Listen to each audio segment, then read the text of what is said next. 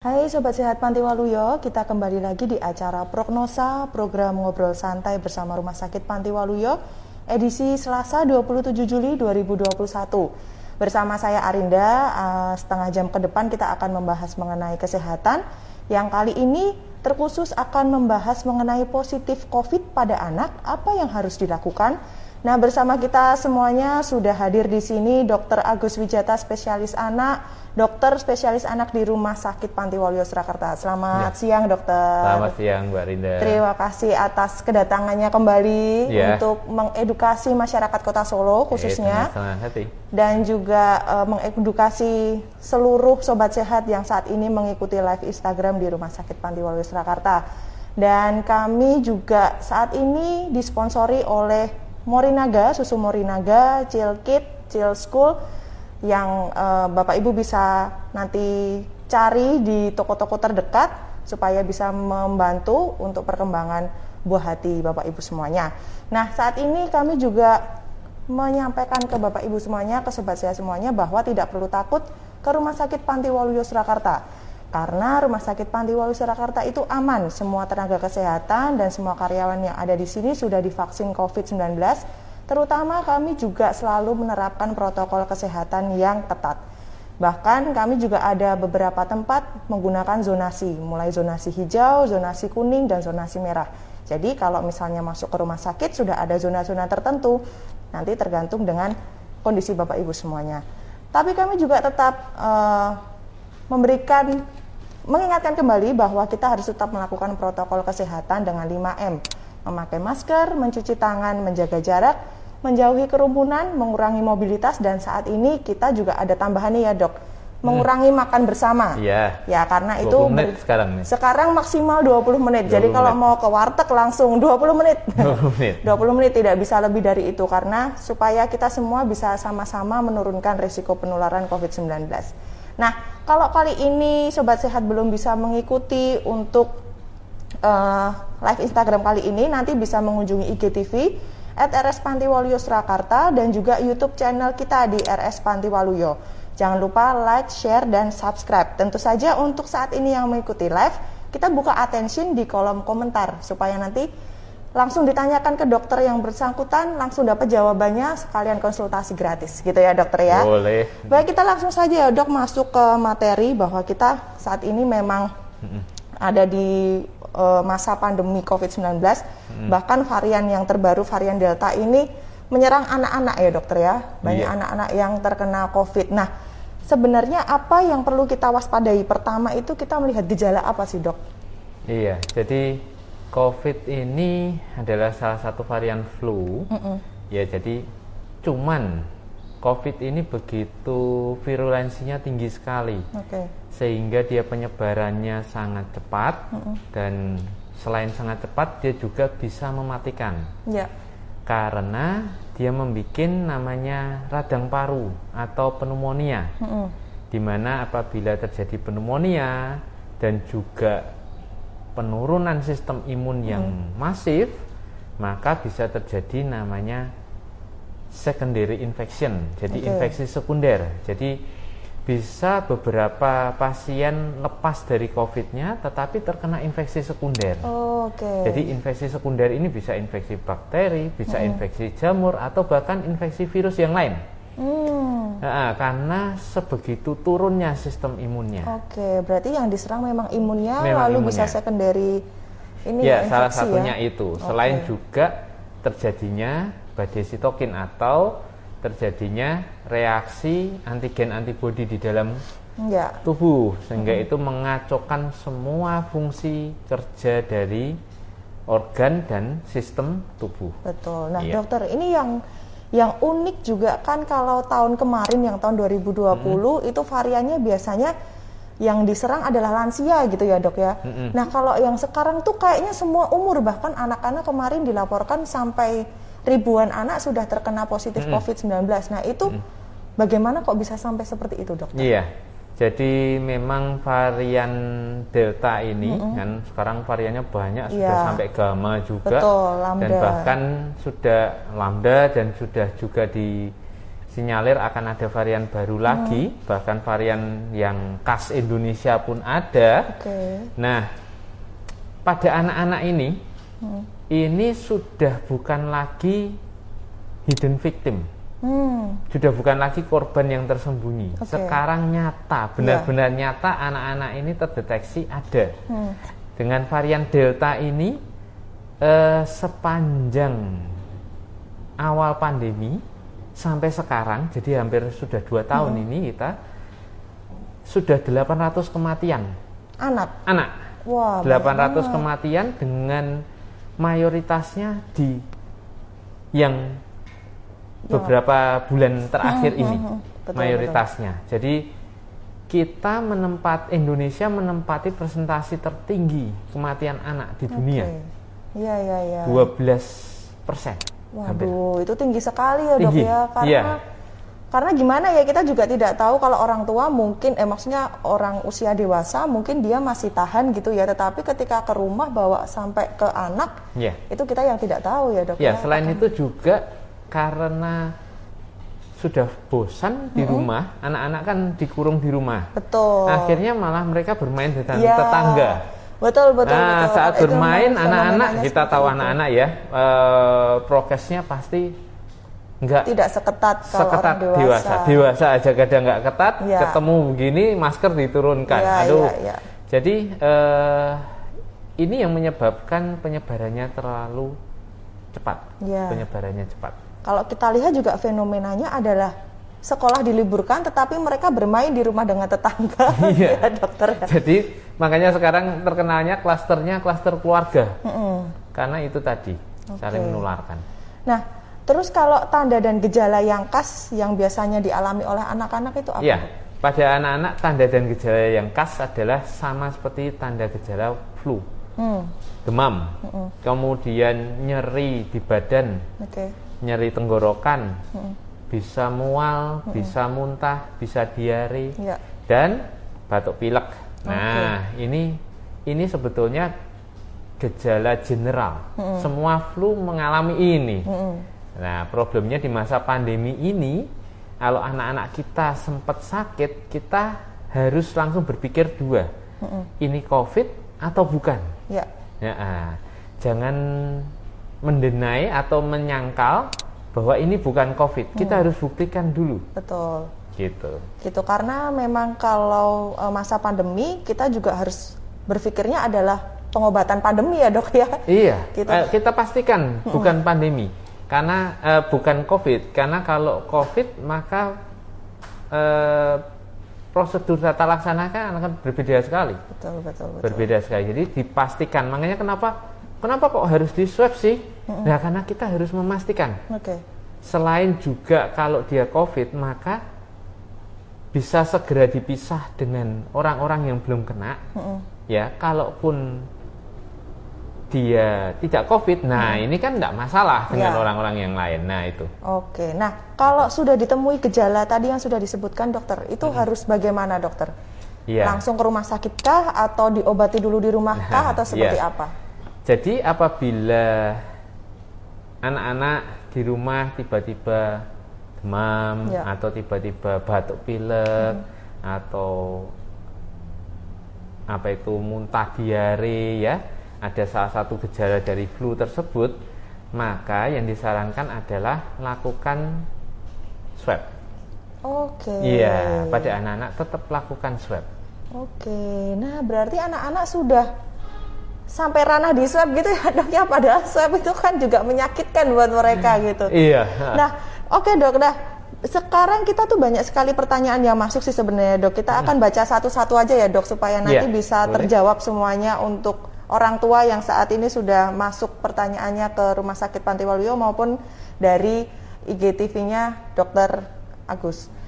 Nah dari at 91 underscore Kim underscore Ci. Apakah anak di bawah 6 bulan wajib melakukan swab? Nah ini tadi dok. Iya. Sudah kita singgung sedikit dok. Iya betul. Jadi untuk anak-anak usia berapapun dilakukan swab. Satu bulan, dua bulan gitu juga bisa dok? Iya, Karena, bisa. Oh iya, Cuman ada pengecualiannya di bawah 2 tahun maka swab yang melakukan adalah ahli THT. Oke. Ya, apabila di atas 2 tahun bisa dilakukan swab di tenaga medis yang berkompeten. ya. Ya. yang memang bukan ahli THT nggak apa-apa gitu. Tapi kalau ahli THT ya fine-fine saja, nggak ada masalah. Ya karena kasihan juga ya dok ya kalau di bawah 2 tahun. Iya di bawah 2 tahun khusus ya. karena masih delicate, jadi masih eh, rapuh. Kalau bukan yang terlatih seperti ahli THT nanti bisa jadi perdarahan, nah, panik dong. Iya gitu. betul Nah, betul. Oke sudah terjawab ya ibu 9 apa tadi? Kimchi tadi. Kimchi iya 91 kimchi. Oke selanjutnya ada pertanyaan lagi dokter dari @spttyy ya. Perlengkapan dan obat-obatan apa saja yang kita perlukan khusus untuk anak pada Iya, masa pandemi? Betul sekali. Eh, dari Ikatan Dokter Anak Indonesia sendiri sudah mengeluarkan sebuah booklet dan leaflet dan file PDF Hmm. ada di bisa Bapak Ibu sekalian cek di website idai idai.or.id Oke. itu bisa di-download di situ panduan isolasi mandiri pada anak. Hmm. Nah, obat-obat yang wajib punya itu adalah pertama paracetamol. Oke. Obat demam paracetamol saja. Meskipun pada anak itu obat demam ada dua, bisa paracetamol, bisa ibuprofen. Tetapi yang disarankan paracetamol saja, karena ibuprofen kadang memiliki efek diare Hmm. dan juga membuat perut sakit, nyeri. Jadi kalau kadang minumnya sebelum makan, anaknya bisa kesakitan Ya. perutnya. Nah itu. Jadi paracetamol saja. Yang kedua adalah zinc. Zinc. Oke. Nah, zinc. Yang ketiga bisa vitamin C. Empat adalah vitamin D. Ya, itu saja cukup. Oh itu ya berarti paracetamol, f- eh, zinc, Zinc, vitamin C, vitamin C, D. vitamin D. Itu Sudah, ada yang cukup, cukup. dalam satu obat gitu nggak dok? Atau memang harus satu-satu gitu? Eh, Lebih efektif mana? Ada beberapa merek yang bisa eh, di dalam satu ini, Satu di dalam suplemen satu gitu ya? suplemen. Ada Oke. ada beberapa merek yang dalam satu suplemen bentuknya sirup ada. Nah itu dia. Itu bisa disiapkan masing-masing oleh orang tua di rumah supaya itu bisa jadi jaga-jaga gitu ya dok ya? Hmm. Iya, bisa supaya jadi jaga-jaga. ini imunnya juga semakin baik gitu. Betul. Jadi tidak gampang terkena penyakit khususnya saat ini COVID-19 gitu. Iya, betul nah, sekali. ada pertanyaan lagi atau mungkin kalau bagaimana sih dok protokol perawatan di rumah? Nah ini Iya. Kalau anak kan kasihan ya mereka nggak bisa apa-apa sendiri gitu dok. Iya, jadi eh, sering kali banyak pasien eh, periksa dan bingung. Pertama pasti panik. Waduh dok, anak saya positif COVID nih. Apa yang harus saya lakukan? Ya. Jadi yang pertama-tama Bapak Ibu sekalian mesti lakukan adalah jangan panik dulu. Oke, Nah, iya, pertama betul. jangan panik dulu. Yang kedua dilihat gejalanya. Jadi COVID ini ada gejalanya juga, gejala ringan, Ya. sedang atau berat. Oke. Nah, kalau ringan ya pasti. Contoh anak cuman panas saja. Panas, pilek-pilek sedikit, batuk-batuk sedikit, itu masih gejala ringan. Oke. Nah, kita tidak perlu tidak perlu bingung kalau gejala ringan. Yang perlu kita lakukan ya kalau demam beri obat demam, beri minum yang banyak. Kalau masih bayi tetap diberikan ASI, susu formula yang banyak, ya. Kemudian dikompres air hangat. Oke. Kompres air hangat, jadi penanganan demam pada umumnya, kompres air hangatnya jangan di dahi ya, percuma. Di leher atau di ketiak. Oh, Loh, Kenapa iya. leher dok? Kenapa ketiak? Karena yang kita cari adalah pembuluh darah besar. Oh ya. Ya, pembuluh darah besar supaya apa? Supaya pori-pori kita bisa terbuka, Hmm. terangsang untuk terbuka sehingga panas bisa keluar. Nah itu, sehingga panasnya bisa keluar. Jangan justru kalau anaknya demam, bapak ibu sekalian AC-nya saya tambah dinginkan, Wah tambah. tambah dikasih kipas angin. Jangan. Kenapa? Karena pori-pori tubuh akan menutup. Nah, kalau pori-pori menut- tubuh menutup, bayangkan seperti kita mendidihkan air, kemudian kita tutup rapat, Ya itu. meledak. Betul. Nah, kalau pada anak-anak meledaknya bagaimana? Kejam. Hmm. Oke. Nah, ah, gitu. Jadi hati-hati. Itu yang perlu dilakukan. Kemudian, Yang nah nih, selanjutnya apa ini? Selanjutnya cari info untuk telemedicine. Nah, betul. Nah, cari info untuk telemedicine.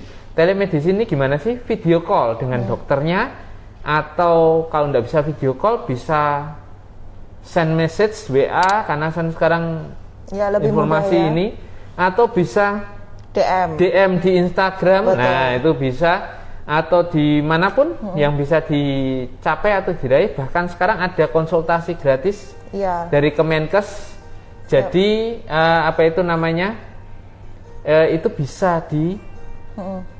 Untuk solusi ya. nah, uh, karena langkah-langkah selanjutnya apa yang dilakukan harus, harus dengan tuntunan dari dokter oke iya. nah itu tadi kalau yang uh, ringan, ringan ya. Yang ringan tadi bisa langsung diatasi seperti hmm. gejala demam seperti biasa gitu ya dok ya. iya, ya. Tetapi kalau sekali. ada yang step lebih lanjut harus ke dokter.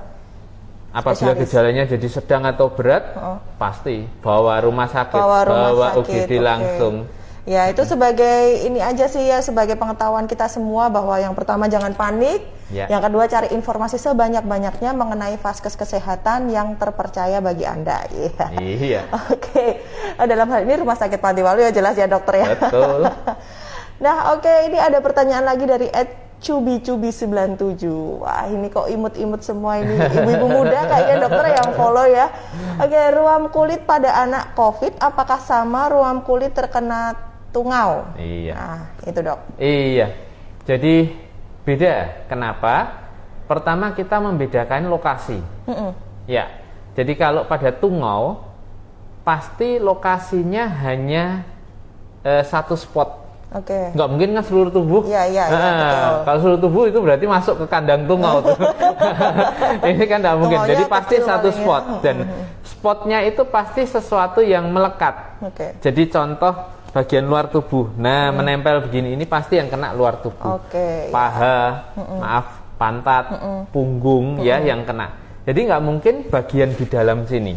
Hmm. Nah, jadi itu salah satu trik cirinya, cirinya ya. Kalau untuk kemerahannya juga berbeda hmm. karena kalau untuk kemerahan pada tungau pasti hmm. ada punktum atau kalau kita bilang bekas gigitan. Hmm. Jadi ada titiknya. Ya. Nah, oh. titik kemudian menyebar merahnya merah di sekitar itu. titik itu. Hmm, hmm, hmm. Sedangkan ruam kulit pada anak COVID ini ruam kulit karena virus. Jadi hmm. istilahnya di kedokteran namanya eksantem. Wah, apa itu? Eksantema. Eksantema itu jadi seperti Anda melemparkan cat ke tembok. Hmm, jadi Yup, gitu. Uh, iya, jadi menyebar, gitu menyebar ya? begitu dan uh, tidak rata, jadi menyebar ya. uh, spot spot spot spot dan seluruh tubuh, tidak hanya pada tempat yang Terkena. tertutup apa itu baju, tapi juga yang terbuka juga semua kena. Kayak biduran gitu, gitu ya dok ya? Uh, beda. Kalau ya? biduren, biduren beda lagi dia eritema. Ini oh, eksantema. Okay. Eksantema itu jadi berbentuk pulau-pulau. Oke. Okay. Uh, pulau-pulau bisa meninggi, hmm. artinya bisa relief, ya lebih tinggi, gitu. uh, lebih tinggi dari kulit normalnya, hmm. bisa tidak. Wah itu gatal banget pasti ya. Saya merinding loh dok, uh, itu bayangin. bisa gatal, bisa tidak, tergantung dari respon-respon masing-masing anak. Oke. Okay. Uh, ya, ikut merinding saya. Sambil bayangin soalnya. Iya. Ya ada pertanyaan lagi dokter ini iya, dari Ed Lukman. COVID-19 pada anak, apa perlu dilakukan ronsen dada? Iya. Kalau pada anak, memang sebaik apabila gejalanya sedang dan berat, hmm. pasti harus okay. dilakukan ronsen dada karena memang dari yang saya pengalaman dari pandemi hmm. selama dua tahun ini COVID pada anak itu sering menimbulkan radang paru hmm. dan yeah. uniknya radang parunya ini secara pemeriksaan fisik kadang tidak terdeteksi oh gitu jadi memang dia benar-benar di dalam alveoli jadi kalau kita dulu pelajaran SMA -hmm. mungkin ya ada ini ada kerongkongan, kerongkongan, kerongkongan kemudian ada bronkus, ya.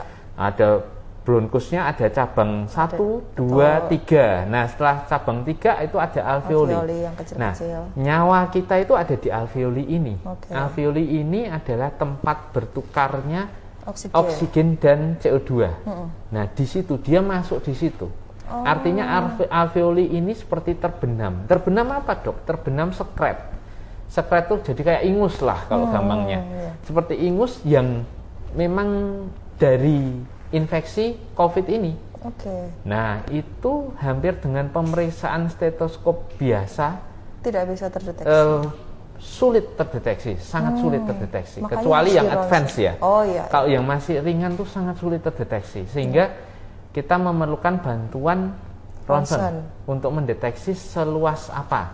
Hmm, gitu. Itu kalau di anak-anak masuknya di alveoli tadi ya dok ya?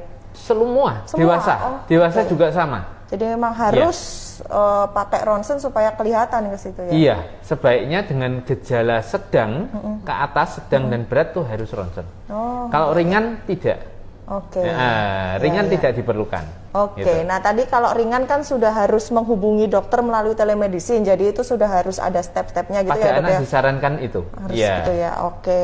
Nah, ada pertanyaan lagi dari Ed Silingling.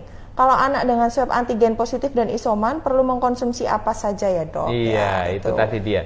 Kalau anak dengan positif dan isoman, otomatis dia anaknya gejalanya ringan. Oke. Apabila gejala ringan, tidak perlu bingung. Yang dilakukan tadi hanya mengkonsumsi apabila demam adalah obat penurun demam, paracetamol saja. Betul. Kemudian minum zinc. Mm-mm. Zinc di atas 6 bulan, maka diberikan 20 mg 20 mg. sehari sekali selama 14 hari. Hmm, ya. Ya, kemudian vitamin C nanti dilihat ya Ibu, eh, dosisnya ada di apa itu namanya panduan Panduannya isoman IDAE ada, kemudian juga di eh, vitamin D. Hmm. Nah ini Ya, dua ini yang minum, ya. sudah cukup itu aja. Kalau, Kalau ada misalnya pilek, ya berikan obat pilek Oh, oke. biasa. Ya, Nah, ya. Atau kalau tidak perlu pakai obat, pakai semprot hidung saja. Oke. Makan yang berkuah, Makan hindari minum es dan Ya, teman-teman. Nah, betul. itu aja sudah cukup. Ya, dan benar. isolasi mandiri otomatis. Nah, isolasi mandiri berarti butuh satu perawat gitu. Maksudnya satu orang tua yang merawat gitu ya, Dok ya. Betul sekali. Jadi orang tua yang paling beresiko rendah. Oke. Ya, jadi contoh jangan ibu hamil, jangan Iya, iya, iya, itu iya, resiko iya. tinggi. Iya. Atau neneknya, jangan. Iya. Itu malah bahaya. Mungkin ayahnya gitu ya yang sehat. Ayahnya mungkin yang sehat ya atau yang paling resikonya paling rendah dalam keluarga. Kakaknya dong. Bisa jadi. kakaknya kalau kakaknya bisa merawat boleh. Cuman harus diingat ya, anaknya anaknya kalau sudah bisa diajarkan, misalnya usia setahun ke atas nih atau dua tahun ke atas sudah bisa diajarkan etika batuk yang benar. Oke. Ya seperti kalau kita batuk, kita mau batuk ini ambil tisu, tutupkan, gitu. Atau pakai Lengan. baju lengan bagian dalam. Nah, itu etika batuk yang benar harus diterapkan dan diajarkan. Atau kalau terpaksa pakai tangan, habis itu cuci tangan, cuci tangan seka mulutnya. Ya, itu etika batuk yang benar. Jangan Oke. Ditaruh di celana ya, jangan ya, Sama aja sama ya. ya, berarti memang harus diajari mulai setahun gitu sudah bisa ya, Dok ya, diajari etika batuk. Pelan-pelan Pelan-pelan bisa, bisa ya. meskipun belum terlalu eh, Paham. paham, tapi pelan-pelan bisa. Ya. Oke, nah ini banyak sekali ilmu yang kita dapatkan ya ternyata eh, seputar anak itu luar biasa. Iya. Ini ada lagi pertanyaan dari Ed Cindy Rahmat Sanjaya. Dok, Iya. saya positif COVID, sedangkan anak saya masih ASI eksklusif. Mm-mm. Nggak mau jaga jarak sama sekali gimana ya dok? Wah, Iya, ini, ini ini. persoalan akhir-akhir memang, ini, nih. ini memang sering ditanyakan. Ya. Jadi Ibu Cindy, eh, apabila Ibu tidak bergejala atau bergejala ringan hanya demam, hanya demam saja, demam tidak batuk, ya, yang penting batuk nih, demam tidak batuk, misalnya demam hanya pilek, Ya. tapi tidak batuk, maka Ibu tetap boleh menyusui langsung Hmm, Oke, dengan harus tetap pakai masker double. ya, Ya, syukur-syukur pakai masker N95 oh gitu. ibunya, ibunya aman ya. ya. Bayinya enggak usah karena Oke. bayinya kan masih menyusui ya. Tetapi kalau ibu bergejala batuk, ya saran saya jangan menyusui langsung anaknya. Diperah. Ya, harus dengan ASI perah Oke. atau kalau memang tidak bisa ya terpaksa harus dengan susu formula atau pasi pendamping ASI. Itu harus karena kalau tidak kasihan bayinya. Iya betul. Iya. Wah itu buah si malakama sih ya dok ya pengennya bisa Betul. tetap merawat bayi tetapi dia tidak bisa Iya begitu. betul. Jadi terpaksa harus dititipkan. Tapi asinya tidak berpengaruh ya dok ya kalau selama Tidak. ini. Jadi eh, COVID saat ini dari penelitian yang dilakukan tidak ditemukan di dalam ASI. Wah luar biasa loh itu dok. Jadi asi sangat luar biasa bisa dikasih ke bayi Ya, bayinya bisa. lebih Karena sehat dia memang COVID hanya berputar di dalam.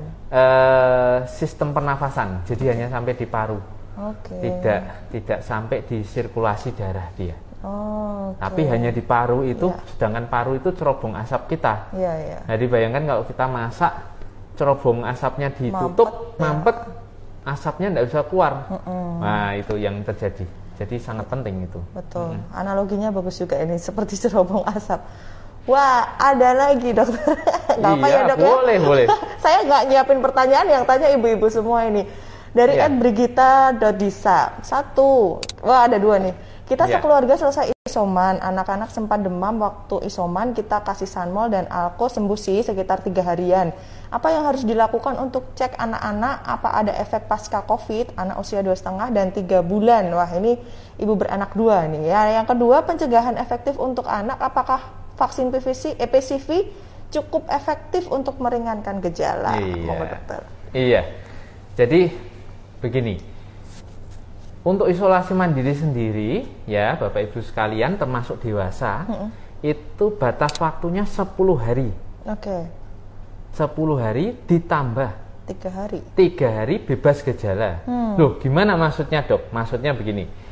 Tadi misal anak-anak ada sempat demam, ya sempat demam mungkin pilek-pilek sedikit misalnya isoman 10 hari kan. Nah, waktu isoman hari ketiga ini sudah hilang gejala nih, sudah hilang gejala semua ya sudah dituntaskan sampai hari hari. 10. Oke. Setelah itu pada anak nih, pada anak kalau bisa swab ulang monggo lebih baik. Tapi kalau seandainya sudah tidak bisa swab ulang ya sudah. Oke. 10 hari ini cukup. Hmm. Nah, ah. Kemudian contoh kalau 10 hari masih pilek atau masih demam, wah sudah 10 hari ini masih kadang-kadang demam dok, masih kadang-kadang pilek, gimana? Dita- diteruskan isomannya. Semisal contoh hari ke-14 baru hilang gejalanya. Nah berarti 14 tambah 3. Oke. Berarti hari 17 baru dianggap selesai isoman. Oh, artinya tiga hari itu tambahan iya, gitu ya, Dok, tambahan, ya, tambahan sampai hilangnya ya. gejala, betul. Jadi batas minimal untuk isoman itu 4, 10 hari. 10 hari. Contoh wah, saya ini dok, saya masih demam ini padahal sudah hari ke-20. Ya berarti 20 hari isomannya. Astaga, lama Nanti banget ya. baru tidak demam hari ke-21. Berarti 21 tambah 3. Iya, bisa 20 Berarti hari ke-24 Anda selesai isoman. Oke, Gitu. ya perjuangan panjang sih ya. Perjuangan ya, panjang memang. itu ya.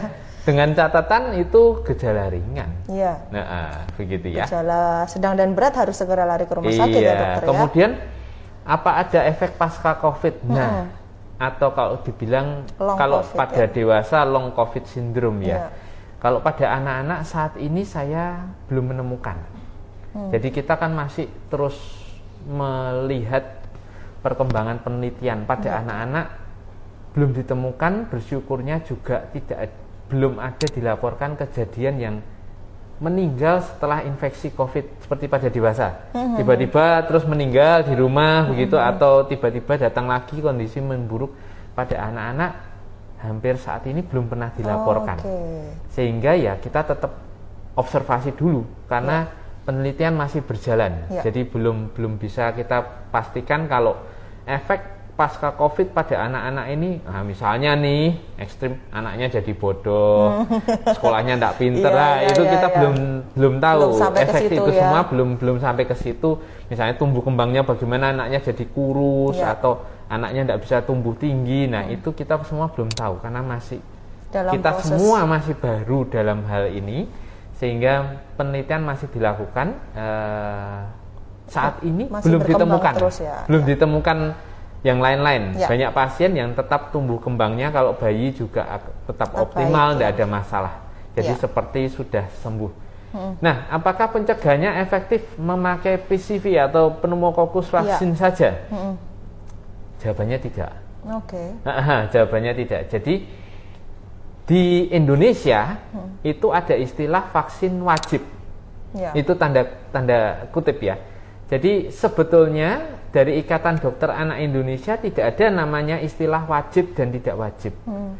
Semua vaksin direkomendasikan. Oke. Okay. Makanya ada beberapa ibu-ibu tanya ke saya, dok ini wajib nggak? Penting nggak ini vaksin? Wah, ya penting. Mm -mm. Karena untuk mencegah, mm -mm. ya kan? Mencegah, mencegah apa itu namanya? Mencegah terjadinya sakit, mm -mm. gitu. Sama kalau kita ditanya, dok, uh, saya pakai baju penting nggak? Penting nggak? Penting. Wah penting. Ha, nah itu sama seperti itu. Jadi seluruh vaksin itu penting. Oke. Okay sebisa mungkin diberikan pada anak maka berikanlah ya. itu nah apakah PCV efek uh, hanya PCV efektif harus diingat vaksin PCV ini adalah vaksin anti pneumonia hmm. yang disebabkan bakteri. kuman atau bakteri okay. pneumococcus okay. bukan virus ya. ya jadi bakteri khusus pneumococcus uh, sedangkan pada COVID ini COVID ini termasuk di dalam satu marga virus corona, hmm. yaitu virus flu. Ya. Sehingga disarankan juga dilakukan vaksinasi influenza. Oh, Sudah ada ya. penelitiannya bahwa ternyata dibandingkan nih orang yang divaksinasi influenza dengan komunitas yang tidak divaksinasi influenza, angka kejadian COVID-nya lebih rendah yang di Oke. Vaksinasi influenza. Berarti itu sudah ada penelitiannya ya, ya? Nah, sudah hmm. ada penelitiannya bahwa ini juga membantu ya. vaksinasi influenza. Vaksinasi influenza. Nah, harus diingat okay. vaksinasi influenza pada anak sudah bisa dimulai sejak umur 6 bulan. Oke, nah, ini suatu kabar baik ya dok ya, salah satu ya, kabar salah satu ya salah satu optimis kabar lah baik. ya, bikin optimis Bahkan gitu. kita pun dewasa itu kalau sudah divaksin COVID, kalau divaksin lagi influenza itu penelitiannya ada itu lebih lebih baik lagi lebih, daya tahan tubuhnya. Uh, apa kalau dibilang saat ini daya tahan tubuhnya belum belum belum sampai penelitiannya cek itu, tapi hmm. hanya melihat angka kejadian dari yang sudah yang divaksin, uh, sudah divaksin influenza itu juga lebih kecil. Lebih kecil ya. Uh, uh, bisa nah, terkena tapi lebih sedikit. Nah yeah. ini kabar baik sih dok karena kemarin-kemarin kan mungkin kita bingung, aduh ini apa lagi gitu ya dok ya harus dikasih apa lagi selain multivitamin ternyata vaksin influenza memberikan dampak yang cukup signifikan ya, gitu ya dok. Selain selain vaksin-vaksin yang lain ya, ya tetap harus karena kalau mm -mm. jangan kita terlupa kita cuma berikan covid covid covid nanti ya. penyakit yang lain muncul semua nih. betul gitu.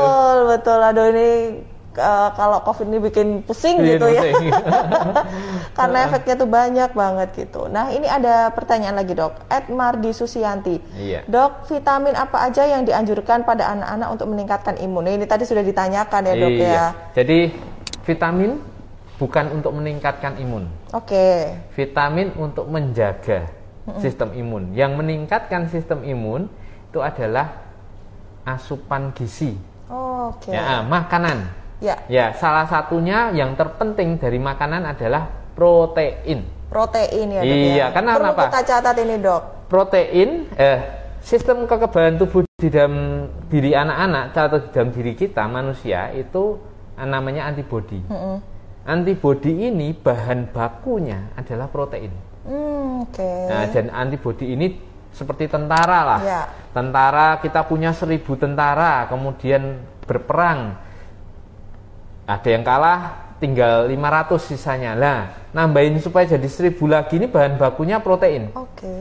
nah jadi yang terpenting adalah asupan gizinya protein yeah. terutama okay. pada anak-anak yeah. ya proteinnya harus dicukupkan pada tiap makan hmm. jangan makan seperti makan soto. Nasinya banyak ikannya cuma dua. Ayamnya dikit cuma gitu. dua dikit jangan. Jadi paling tidak perbandingannya satu banding satu lah okay. itu. Atau satu banding tiga perempat itu boleh.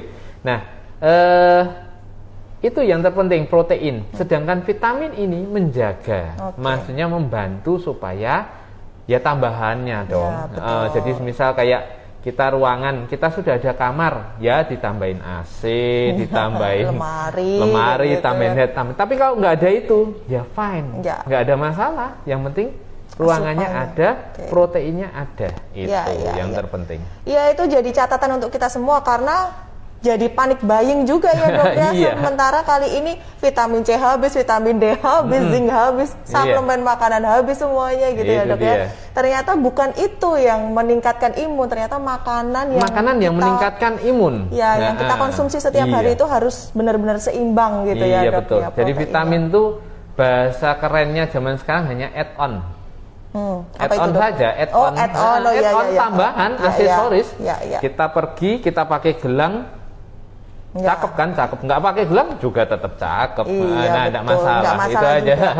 ya jadi kita perlu kasih catatan untuk sobat sehat semuanya di sini cukupi asupan gizi setiap hari dengan baik gitu protein tinggi berarti makanannya TKTP ya deh tinggi protein tinggi kalori gitu tinggi ya dok ya? protein, tinggi kalori pada anak ya. pada anak, Pada anak ya. pada orang tua juga harus Pada orang tua disesuaikan ya, Harus disesuaikan dengan kemampuan masing-masing. ya Lain-lain nanti kondisinya Oke. soalnya. ya kita sedang ngomongin anak. Nah ini ada pertanyaan lagi? Ada pertanyaan? Oke sebentar. Kita akan tambahkan lagi. Wah ini cukup banyak sekali yang bertanya karena topiknya menarik, topiknya masih sangat baru, jadi banyak orang yang mungkin bertanya-tanya, aduh ini gimana, ini gimana? gitu, karena mungkin saking banyaknya orang yang ini ya, saking banyaknya orang yang ngasih advice gitu ya, mungkin saking banyaknya dia mencari mencari Ya. informasi dari mana-mana, semakin bingung gitu dok. Oh ya, saya juga mau menambahkan untuk Oke. Bapak Ibu sekalian eh, pesan dari Ketua Dokter Anak. Ikatan Dokter Anak Indonesia, Dokter Aman Pulungan, spesialis anak konsultan. Jadi eh, apabila anak-anak terkena COVID, itu tanggung jawab ada di orang tua. Oke, Eh, bayang, jadi bapak ibu bayangkan gini, kita ini orang tua, seperti kata dokter Aman itu begini, kita orang tua itu kita hidup untuk apa sih? Hmm. Untuk anak kan? ya, Nah, semuanya kan untuk anak. Kalau kita sudah punya anak, semuanya kan untuk anak. ya, Terus eh, bagaimana bisa kita tidak melindungi mereka? Mm-mm. Jadi benar-benar sebisa mungkin bapak ibu yang menyaksikan prokes itu benar-benar diterapkan. wajib. Jadi sebisa mungkin hindarilah adanya celah di dalam keluarga. Hmm. Ya contoh misal ada yang memang, oh saya kan harus belanja dok ke pasar, belanja saja nggak apa-apa, prokesnya Ya. Betul. jangan ada episode melepas masker. Ya. Jadi mas, sudahlah kalau ngomong sama orang ya seperti kita ngomong ini, Ya. ini nggak usah lah tangan ke sana kemari. Kadang kan ada orang ngomong ini diturunkan Iya. ngomong sudah nggak apa-apa. Lagian yang diajak ngomong juga nggak pengen lihat mulutnya ya. ya sudah, yang penting kan pengen dengar suaranya. Cuman kita masalahnya kita nggak biasa. Jadi hati-hati. Eh, saat kita keluar atau kita bekerja, jangan ada episode lepas masker pastikan benar-benar kalau kita lepas masker itu di tempat yang terbuka, kemudian tidak ada kerumunan di situ, karena kita ini bertanggung jawab terhadap anak-anak kita. Betul. Kalau sampai ada apa-apa, harus diingat Bapak Ibu sekalian penyesalan itu selalu datang terlambat. Iya. Yang duluan itu namanya pendaftaran, ya. Ah, dokter bisa aja. Jadi selalu begitu. Iya. Ah, Tadi kan kita lagi serius, kenapa jadi belakangnya kayak gini? Jadi Iya, begitu itu tadi, ya, betul. kira-kira. Betul sekali kita sebagai eh, orang dewasa memang harus bertanggung jawab atas anak-anak yang ada di lingkungan kita. Kan kita juga memperingati Hari Anak juga ini dok. Ini kan Iya. eh, kemarin waktu apa Hari Anak itu saya dengarkan khotbah online itu juga begitu kita harus bertanggung jawab pada anak-anak itu memberikan lingkungan yang aman, nyaman dan juga memberikan uh, lingkungan yang baik untuk anak supaya mereka bisa berkembang dengan baik Betul juga sekali. gitu. Terkhusus pada saat pandemi Covid ini menjaga mereka dari virus-virus Iya. gitu. Nah ini ada pertanyaan mungkin ini yang terakhir ya dok ya, Ya. karena waktunya sudah hampir selesai dan juga kita nanti mau kasih satu giveaway untuk satu pertanyaan terbaik menurut dokter Agus gitu ya. Jadi siap-siap, jangan sampai keluar dulu dari live-nya. Dari at Cesa ADV. Dok, kalau anak positif COVID tetap bisa menularkan virus ke orang dewasa kah? Ataukah virus itu bekerja seper, seperti TBC? TBC? Iya, iya. Jadi pada COVID ini justru banyak orang dewasa yang terkena dari anak-anak. Oh gitu malah. Jadi ya? memang ya karena begini, ayah ibunya menjaga prokes dengan luar biasa, mm -hmm. tapi anaknya di rumah bersama pengasuh diajak main ke tetangga ya. sebelah. Pengasuhnya nggak sakit, anaknya sakit, anaknya menularkan ke orang tua. Orang tuanya, orang tuanya bingung saya dapat dari siapa. nah, ini. Jadi hati-hati sekali. Anak-anak pun tetap menularkan. Jadi eh, ya harus diingat COVID ini atau corona apa itu namanya virus disease mm -hmm. ya di 2019 ini virus. Okay. Virus tidak memandang usia, hmm. tidak memilih-milih, dia hanya memandang spesies. Ya. Jadi kalau selama kita manusia maka kita akan bisa kena corona. Ya. Nah, eh, bedanya dengan TBC beda karena TBC adalah bakteri. Oke. Okay. Nah, jadi bukan virus. Jadi sangat sangat cara berbeda sekali. Berbeda. Cara bekerjanya juga berbeda sekali. Wah, okay. begitu. Baik, terima kasih dokter iya. untuk penjelasannya pada hari ini sangat mengedukasi, sangat terima kasih juga. menambah pengetahuan kita semua. Bahkan saya yang belum punya anak nih, saya juga harus berjaga-jaga nih, dok. Gitu bisa belajar juga dari dokter Agus dan juga dari teman-teman semua yang sudah bertanya dan mungkin ini dari pengalaman mereka masing-masing. Nah, dokter, ini kita masuk ke kasih giveaway ke ini ke sobat sehat jadi siapa ini kira-kira yang menurut dokter pertanyaannya paling oke okay, bisa disebutkan dokter nanti biar nanti uh, sobat sehat bisa datang ke rumah ya. sakit bisa ambil giveaway-nya. Ya kalau dari pertanyaan. Iya dari pertanyaan. Bobot ini yang terakhir nih. Malah yang terakhir ya, ya. dok ya. Mm -mm. Dari Ed Cesa yeah. ADV. Wah, mm. selamat Ibu Cesa ADV yang sudah memberikan pertanyaan mengenai apakah virus bisa menularkan ke orang dewasa, virus dari anak-anak. Selamat nanti bisa langsung menghubungi Rumah Sakit Panti Waluyo, bisa di DM Instagramnya.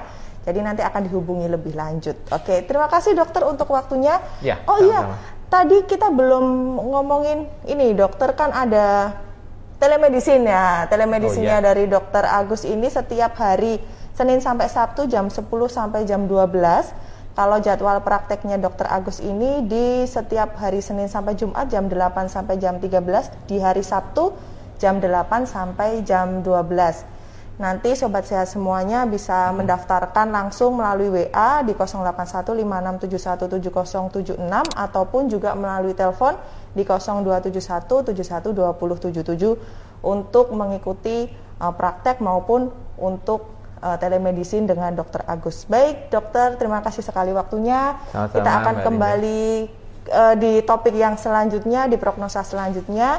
Dan kami juga mengucapkan terima kasih untuk sobat sehat semuanya yang sudah beratensi dan juga sudah memberikan pertanyaan. Kita akan kembali lagi di prognosa selanjutnya dan kali ini kita mau pamit dan dadah.